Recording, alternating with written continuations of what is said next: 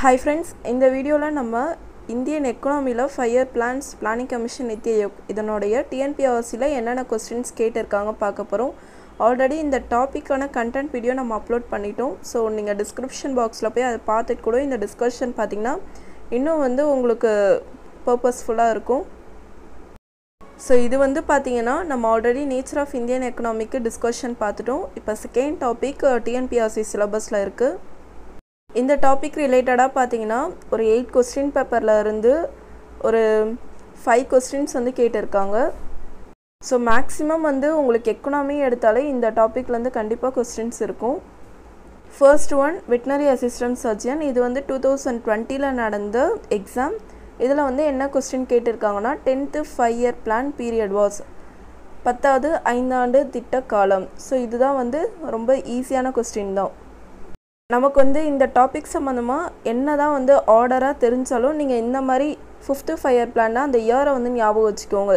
Suppose உங்களுக்கு வந்து அதுக்கு முன்னாடி பின்னாடி மறந்தாலும் அந்த ஃபிஃப்த்து ஃபயர் பிளான் வச்சு நீங்கள் முன்னாடி பின்னாடியே கரெக்டாக அரேஞ்ச் பண்ணலாம். அதே மாதிரி டென்த்து ஃபயர் பிளான் இதெல்லாம் எப்போவுமே மனப்படமாக இருக்கட்டும். So tenth five year plan பார்த்தீங்கன்னா two thousand two to two thousand seven இது ரிலேட்டடாக நம்ம ஆல்ரெடி பார்த்துட்டோம். இருந்தாலும் இங்கே ஒரு தடவை பார்ப்போம். ஸோ இதனுடைய டார்கெட் என்ன பார்த்தீங்கன்னா எயிட் பர்சன்டேஜ் பட் அச்சீவ் பண்ணது செவன் பாயிண்ட் டூ பர்சன்டேஜ் தான். ஸோ எப்போவுமே நம்ம வந்து பாவர்ட்டி வந்து ரெடியூஸ் பண்ணணும். அதுக்கப்புறம் எம்ப்ளாய்மெண்ட் ஆப்பர்ச்சுனிட்டி அதிகப்படுத்தணும். இந்த மாதிரி டார்கெட் தான் ஃபிக்ஸ் பண்ணாலே கொஞ்சம் வந்து அந்த டார்கெட்டை நம்ம அச்சீவ் பண்ண முடியாமல் தான் இருந்திருக்கு. மற்றபடி ஏதோ ஒரு ஃபீல்டு சம்மந்தமாக அக்ரிகல்ச்சர் இண்டஸ்ட்ரி இதில் தான் நம்ம வந்து கான்சென்ட்ரேட் பண்ணால் கொஞ்சம் வந்து இம்ப்ரூவ்மெண்ட் இருந்திருக்கு. ஸோ இதில் வந்து பார்த்திங்கன்னா பாவர்ட்டி ரேஷியோ வந்து ஃபிஃப்டீன் பர்சன்டேஜ் வரைக்கும் குறைக்கணுன்றதான் டார்கெட் ஃபிக்ஸ் பண்ணியிருக்காங்க ஸோ நான் பிளானிங் கமிஷன் வீடியோவில் இது சம்மந்தமாக கம்ப்ளீட்டாக எக்ஸ்பிளைன் பண்ணியிருக்கேன் இருந்தாலும் நம்ம இங்கே டென்த்து ஃபைவ் இயர் பிளான் பற்றி டீட்டெயிலாக பார்த்துட்டோன்னா அது இன்னும் கொஞ்சம் ஸ்ட்ராங்காக மைண்டில் போய் நிற்கும் ஸோ நெக்ஸ்ட் டைம் வந்து வேறு ஏதாவது கொஸ்டின் ஒரு நைன்த்து ஃபைவ் இயர் பிளான்லேருந்து அதனோட டார்கெட் அப்படி தான் கொடுத்துருந்தாலும் அங்கே டென்த்து ஃபைவ் இயர் பிளான் இந்த ஆப்ஷன் இருந்தால் நமக்கு அந்த ரிஜெக்ட் பண்ணுற நாலேஜாவது கிடைக்கும். ஸோ நீங்கள் வந்து தரவை தான் படிச்சிருவீங்க. இருந்தாலும் நம்ம பிரெயின் பொறுத்த வரைக்கும் சில விஷயம் மறந்துக்கிட்டே தான் இருக்கும். இந்த மாதிரி தான் நம்ம ஸ்பெசிஃபிக்காக எடுத்து படிக்கும்போது அது எப்போவுமே மறக்காது. ஸோ அதை தான் நான் இங்கே சொல்ல வரேன்.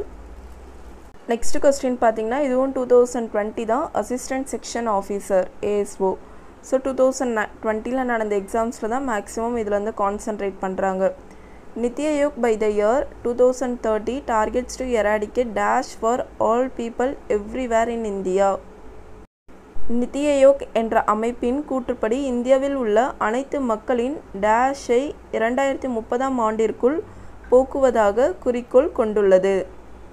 இதில் வந்து ஆப்ஷன்ஸ் பார்த்திங்கன்னா population growth poverty water scarcity food insecurity so இதை வந்து நம்ம ஆன்சர் பண்ணணும்னா கண்டிப்பாக இந்த டூ தௌசண்ட் தேர்ட்டி டார்கெட் பற்றி நமக்கு தெரியணும்.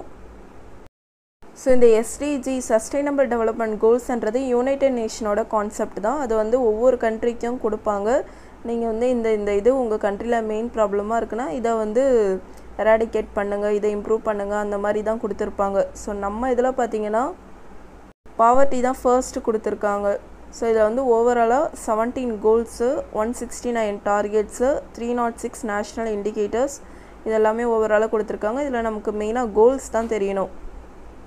ஃபர்ஸ்ட் கோல் என்ன பார்த்தீங்கன்னா no poverty and second one zero hunger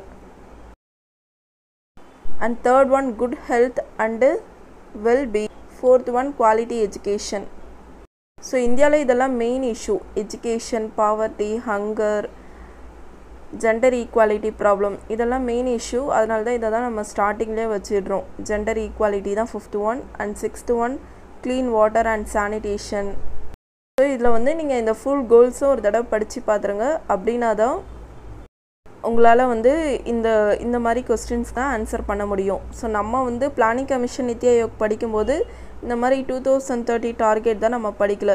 இந்த மாதிரி கொஸ்டின்ஸ் தான் பார்க்கும்போது தான் இப்படியும் கேட்குறாங்க என்ற ஒரு விஷயம் வந்து நமக்கு தெரிய வரும். ஸோ நம்ம எந்த டாபிக் எடுத்தாலும் பேசிக்காக படிச்சுட்டு இந்த மாதிரி கொஸ்டின்ஸ் வந்து பார்க்கும்போது எக்ஸாம் பேஸ்டாக நம்ம வந்து ப்ரிப்பேர் பண்ணுறத ஸ்ட்ராங் பண்ணுறோம் ஸோ இது வரைக்கும் நம்ம பார்த்த கோல்ஸ்லேயே பார்த்தீங்கன்னா population growth water scarcity food insecurity இந்த மாதிரி தான் இல்லை. வாட்டர் சானிடேஷன் கொடுத்துருந்தாங்க. அதுக்கப்புறம் எஜுகேஷன் ஜெண்டர் ஈக்குவாலிட்டி ஹங்கர் இதை பற்றி கொடுத்துருந்தாங்க. ஸோ பாவர்ட்டி தான் வந்து அவங்க கொடுத்துருக்குற கோல்ஸில் இதில் வருது. மற்ற கோல்ஸ் தான் நீங்கள் படிச்சிங்கன்னா தான் வேறு எப்படி கொஸ்டின் கேட்டாலும் ஆன்சர் பண்ண முடியும். Next one group one two thousand nineteen இதில் வந்து ஒரு டூ கொஸ்டின்ஸ் கிட்ட கேட்டிருக்காங்க இந்த டாப்பிக்லேருந்து with reference to NITI Aayog which of the following statement are correct NITI Aayog கருத்துப்படி கீழ்கண்டவற்றில் எது சரியான கூற்று என்பதை கண்டுபிடிக. So நித்தினாலே national institute for transforming India அதனால் ஃபர்ஸ்ட் ஒன் கண்டிப்பாக கரெக்ட்னு தெரியும். ஸோ மேக்ஸிமம் செகண்ட் ஒன்னும் எல்லோரும் கரெக்டு தான் நினைப்போம். பட் இங்கே வந்து ஒன் ஒன்லி தான் கொடுத்துருக்காங்க. ஏன்னா இவங்க க்ரோத் அண்ட் டெவலப்மெண்ட்டையும் கான்சன்ட்ரேட் பண்ணி தான் எல்லாமே பண்ணுறாங்க ஸோ இதில் வந்து ஜஸ்ட்டு தெரிஞ்சுக்கோங்க.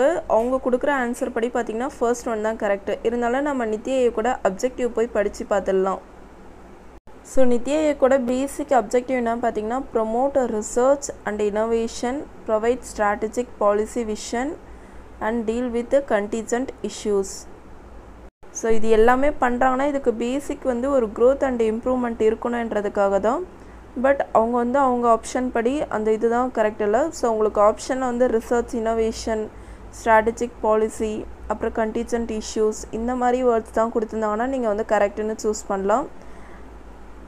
நெக்ஸ்ட் ஒன் இவங்களுடைய ஆக்டிவிட்டீஸை ஒரு ஃபோர் டைப்ஸாக பிரிக்கிறாங்க. First one policy and programme frame ஒர்க்கை டிசைன் பண்ணி தர்றது. ஸோ எதுவாக இருந்தாலும் கண்டிப்பாக ஒரு பாலிசின்றது வேணும். இப்போ நம்மளே ஏதோ ஒன்று ப்ரிப்பேர் பண்ணுறதா இருந்தாலும் ஜஸ்ட்டு அதுக்கான ஒரு பிளான் ரெடி பண்ணுவோம்ல அதுதான் அங்கே வந்து policy next foster cooperative federalism centre and state வந்து கண்டிப்பாக வந்து கோஆப்ரேட் பண்ணுறதுக்கு என்ன இனிஷியேட்டிவோ அதை பண்ணுவாங்க.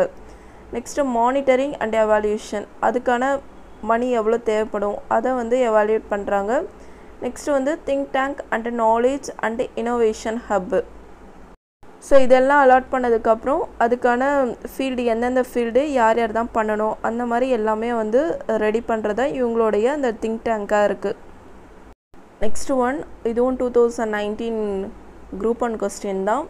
NITI Aayog launch Atal new India challenge programme on April twenty six two thousand eighteen this initiative is related to so two thousand எயிட்டீனில் இவங்க ஒரு ப்ரோக்ராம் வந்து லான்ச் பண்ணியிருக்காங்க. அந்த ப்ரோக்ராம் நேம் என்ன பார்த்தீங்கன்னா அட்டல் புதிய இந்தியா சவால்கள் இந்த திட்டம் வந்து இவங்க கொடுத்துருக்குற ஆப்ஷனோட எது கூட மேட்ச் ஆகுதுன்னு கேட்டிருக்காங்க. ஸோ இது வந்து அப்போதைய கரண்ட் அஃபேர்ஸ் டூ தௌசண்ட் எயிட்டீனோட கரண்ட் அஃபேர்ஸ் நீங்கள் அதே மாதிரி நித்தி ஆயோக்கோட இப்போ ரீசன்ட் கரண்ட் அஃபேர்ஸ் என்னன்னு தெரிஞ்சுக்கோங்க. ஸோ இந்த அட்டல் நியூ இந்தியா மிஷனில் பார்த்தீங்கன்னா to design and demonstrate market ready products based on cutting edge technology so டெக்னாலஜிக்கு ஏற்ற மாதிரி ப்ரொடக்ஷன் கொண்டு வரணுன்றது தான் second one to provide grants up to rupees one crore so அந்த மாதிரி ஒரு ப்ரொடக்ஷனுக்கு ஒன் க்ரோர் வரைக்கும் மானியம் வந்து கவர்மெண்ட்டால் தரப்படணும். Next related to agriculture and industrial sectors any so இவங்க வந்து அக்ரிகல்ச்சர் அண்ட் இண்டஸ்ட்ரி மட்டும் தான் கொடுத்துருக்காங்க. ஸோ இவங்க ப்ரொடக்ஷன் பார்த்திங்கன்னா அது மட்டும் கிடையாது. நிறைய டெவல டிபார்ட்மெண்ட்ஸ் இருக்குது அதனால் அதை மட்டும் கான்சென்ட்ரேட் பண்ண மாட்டாங்க. ஸோ இதுக்கு ஆன்சர் என்ன பார்த்தீங்கன்னா ஒன் அண்ட் டூ தான். இது வந்து அப்போதைய கரண்ட் அஃபேர்ஸ் தான். ஸோ இதை பற்றி ஓரளவுக்கு இன்ஃபர்மேஷன் இங்கே கலெக்ட் பண்ணியிருக்கோம். So innovative system of country உருவாக்குறது. இதனுடைய அப்ஜெக்டிவ்ஸ் என்ன பார்த்தீங்கன்னா வந்து ப்ரோக்ராம்ஸ் அண்ட் பாலிசிஸ் வந்து டிஃப்ரெண்ட் செக்டார்ஸ் அங்கே வந்து அக்ரிகல்ச்சர் அண்ட் இண்டஸ்ட்ரி மட்டும்தான் கொடுத்துருந்தாங்க அப்படி கிடையாது. டிஃப்ரெண்ட் செக்டார்ஸில் வந்து கான்சன்ட்ரேட் பண்ணணும். அப்புறம் அதுக்கான பிளாட்ஃபார்ம் வந்து ரெடி பண்ணி தர்றது. அப்புறம் அம்ப்ரலா ஸ்ட்ரக்சர் அம்ப்ரலா ஸ்ட்ரக்சர்னால் இப்போ வந்து அக்ரிகல்ச்சரில் ஒன்று ப்ரொடக்ஷன் பண்ணுறாங்கன்னா அதை இண்டஸ்ட்ரிக்கு எடுத்துகிட்டு போவாங்க. இண்டஸ்ட்ரியிலேருந்து வரதை டிரான்ஸ்போர்ட் பண்ணுவாங்க. அண்ட் எக்ஸ்போர்ட் பண்ணுவாங்க. ஸோ ஒரு ஃபீல்டில் இருக்கிறத பல ஃபீல்டில் அப்ளை பண்ணுறது இதுதான் அம்பர்லா ஸ்ட்ரக்சர் இது எல்லாமே பேஸ் பண்ணி தான் இந்த அட்டல் நியூ இந்தியா மிஷன்ன்றது இருக்குது ஸோ நீங்கள் வந்து கண்டிப்பாக நித்திய கூட இப்போ ரீசெண்டாக கரண்ட் அஃபேர்ஸ் என்னன்னு தெரிஞ்சுக்கோங்க.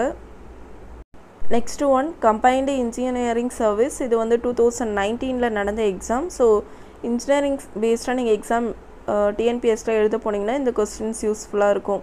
The first planning commission in India was set up under the chairmanship of so planning commission வந்து யாரோட தலைமையில் கொண்டு வந்தாங்க பார்த்தீங்கன்னா பண்டிட் ஜவஹர்லால் நேரு. ஏன்னா அவர் தான் ஃபர்ஸ்ட் ப்ரைம் மினிஸ்டராக இருப்பார். இதுக்கு சேர்மன் யாருன்னா ப்ரைம் மினிஸ்டராக தான் இருப்பாங்க. So first nineteen fifty one வரும்போது தான் ஜவஹர்லால் நேரு தான் ப்ரைம் மினிஸ்டராக இருந்தார். இதுவும் ஆல்ரெடி நம்ம அந்த வீடியோவிலே பார்த்துருப்போம். So economic programme committee nineteen forty seven அது மூலமாக தான் கொண்டு வராங்க.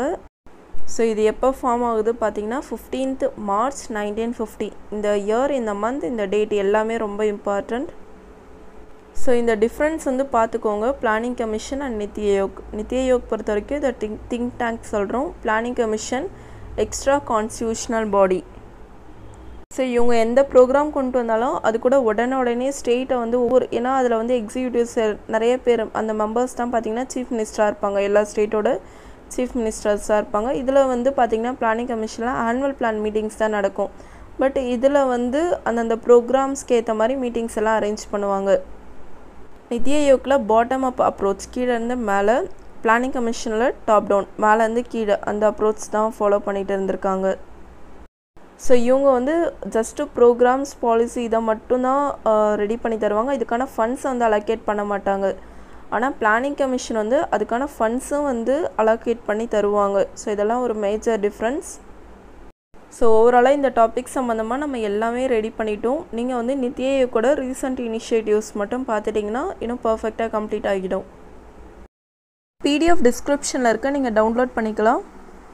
இந்த வீடியோ உங்களுக்கு யூஸ்ஃபுல்லாக இருந்தால் லைக் பண்ணுங்கள் அண்ட் உங்கள் ஃப்ரெண்ட்ஸ்க்கும் ஷேர் பண்ணுங்கள் அண்ட் உங்களுடைய வேல்யூபிள் கமெண்ட்ஸ் தாங்க. அண்ட் மறக்காமல் ஸ்மார்ட் ஐடியாஸ் சேனலை வந்து சப்ஸ்கிரைப் பண்ணுங்கள் சப்ஸ்கிரைப் பண்ணால் தான் நாங்கள் அப்லோட் பண்ணுற வீடியோஸ் உங்களுக்கு கிடைக்கும். தேங்க்யூ